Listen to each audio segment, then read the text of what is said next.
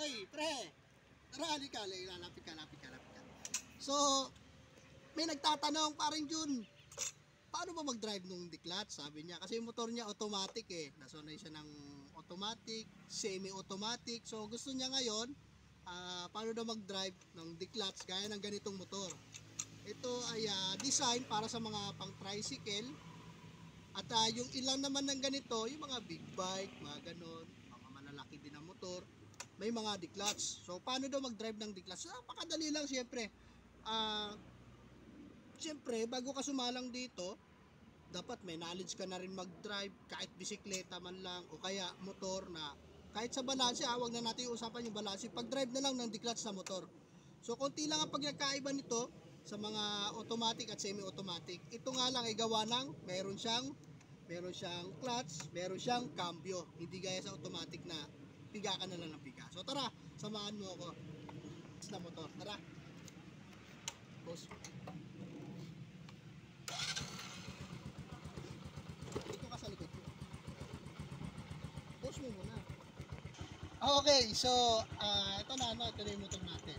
Kaya, huwag nyo kakalimutan, may, yung preno, syempre, una-una, wag na wag yung kakalimutan, pre. Yung preno. Ano man ang mangyari, emergency or magpanik kayo sa daan or saan man, wag na wag nyo kakalimutan yung preno. Pinaka-basic na dapat nyo matutunan, wag kalimutan yung preno. Okay, so yung preno ng ganitong motor, ang preno niya nandito, meron siyang handbrake dito sa bandang kanan, handbrake, at saka meron din dito sa kabila, sa sa bandang kanan din, foot brake, may foot brake ito. Huwag niyo kakalimutan yung preno. So, tara. At ah, ano to ba? Ito, yung accelerator. Accelerator, gasolinyador, silinyador, ito yun, ito yun. Yan, yan siya. Ano pa ba? Ito, ito naman. Nakikita ba? Ito naman, ito naman yung clutch. Ito yung ating clutch lever. Clutch, pag pinisa mo yan, magka-clutch ka, at ito naman yung cambio. So, ang pagpasok niyan, clutch ka muna, clutch, tapos cambio, primera, tapos ang pagbitaw nito para umusad siya, gas ka muna bago ito. Pwede mo siyang galitin. Op, yan, ganyan yan siya, ganyan yan siya. Kasi, okay, lapit, lapit, lapit um, sa paggamit niya ano, so ito siya, nag-clutch ka, nag-cambio ka, ang mangyayari, pwedeng sabay. Pag, pag gas mo, uh, gas, clutch, cambio, ang paggamit talaga niya is, eh, habang naggagas ka, bibitaw ka ng clutch. No? Habang nagagas, bibitaw ka ng clutch. Pero meron pa rin minsan pagkakaiba. Kapag ka naman hindi mo kabisado yung clutch, kasi meron clutch na mababaw, meron din malayo. So ano ibig sabihin nun? Merong clutch na konting bitaw mo lang, tatakbo na. Meron din naman ibang clutch na yung adjustment niya, nasa dulo bago uusad. So, para hindi ka malito, ang gawin mo, galitin mo muna yung makina, syempre. Ah, gagalitin mo muna yung makina bago ka bibitaw ng clutch.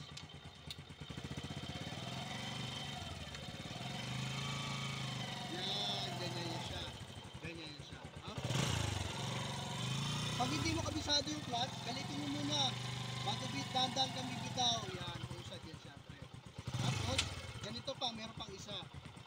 Paano naman pag nagkamali? Paano, na, paano naman kapag ka nagkapaligtad? Kaya sabi ko, ah, silinyador, tapos habang nagagas ka, bibitaw ka ng clutch. Eh paano kapag ka nauna yung clutch bago yung gas?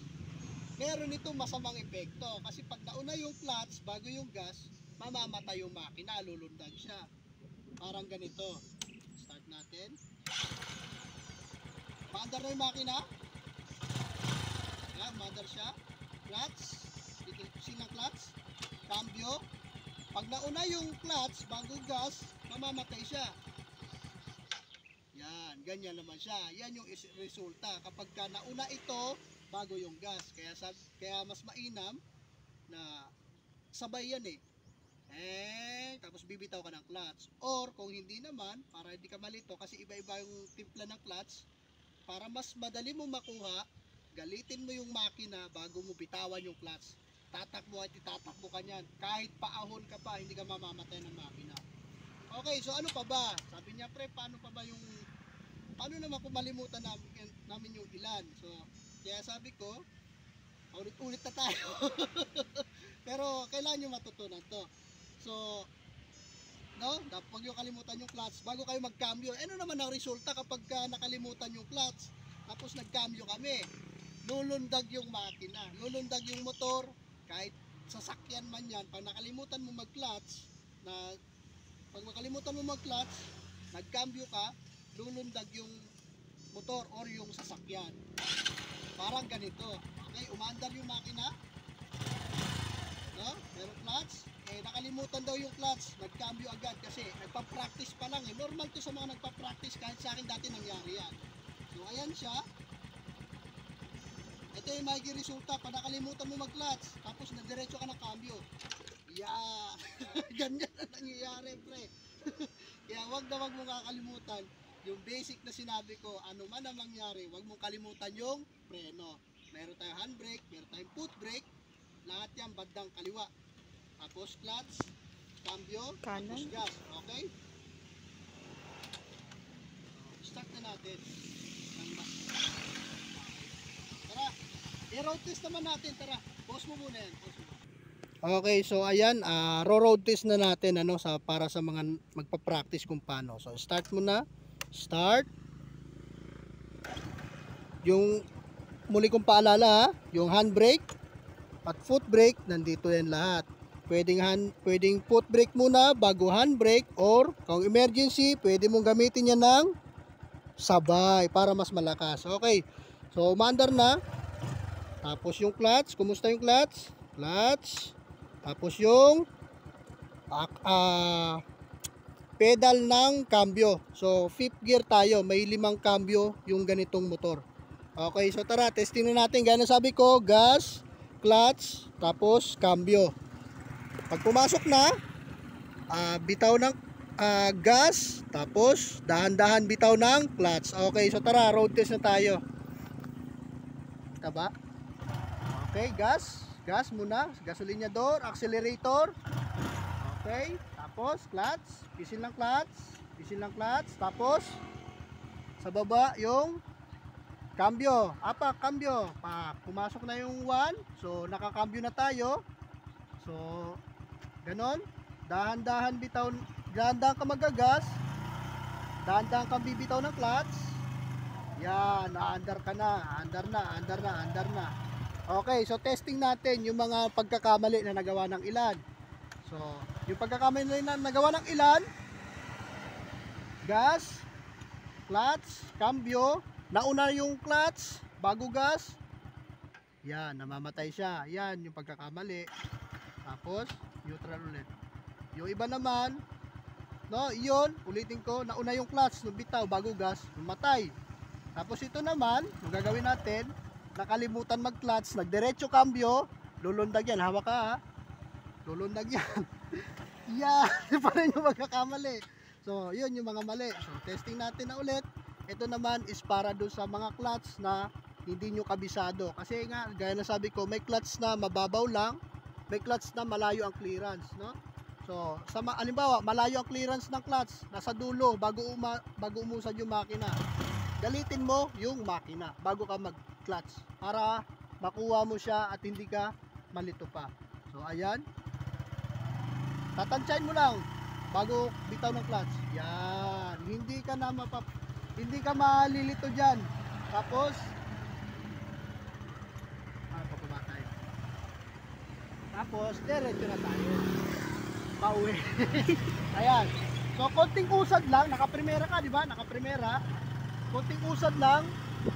Bat balik ng gas, pisil ng clutch, tapos cambio, segunda.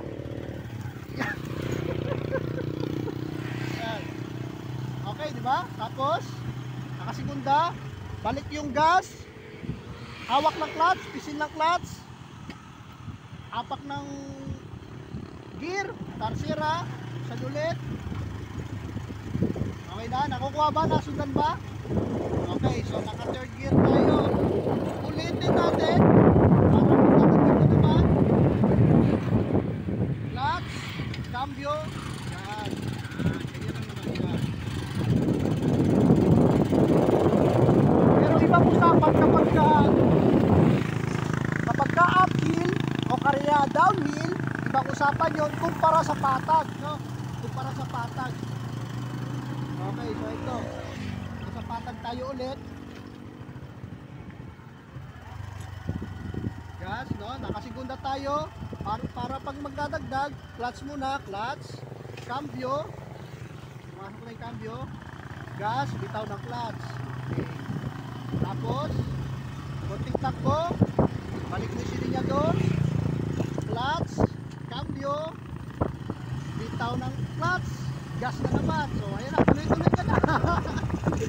Umuusad ka na. Okay? Pakuha na.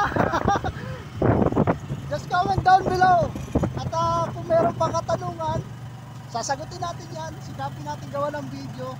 At ah, kita-kits tayo ulit sa susunod. Thank you. God bless. Bye-bye.